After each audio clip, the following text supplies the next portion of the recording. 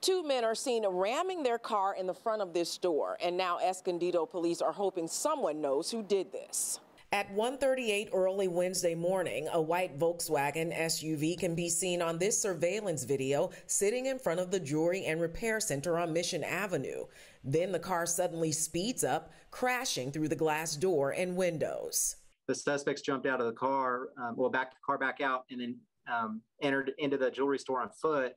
And one subject had a uh, axe in his hand or a hatchet, and then used that to uh, defeat the uh, the display cases, and they were able to make off with some uh, jewelry and some cash. Detectives believe the SUV used in the burglary was stolen from Oceanside two days before this incident. They described the two suspects as Hispanic males, and both wore masks to conceal their identities. We are requesting um, the public to take a look at the, the video, and if they can identify you know, by, you know, if they know the, the people, clothing, whatnot, um, mannerisms, uh, method of the of the crime, if they could report that to um, our agency, we'd really appreciate it. The Jewelry and Repair Center is a family run business, and they say they've been in the jewelry industry for two generations.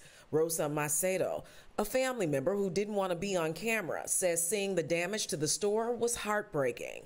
You just can't put together how somebody can actually do something like this. Macedo says they've operated at this location for about a year, and other businesses in the area have tried to comfort and help them in any way they could. The owner of the building came over and right away sent people over to help clean up and you know help um, repair at least some of the damage so I think it's a perfect example of the community coming together to help it's too soon to know just how much the damages will cost in this incident, but they say they are ready to open as soon as possible. If you have any information about this incident, you can go to CBS8.com and click the link for this story.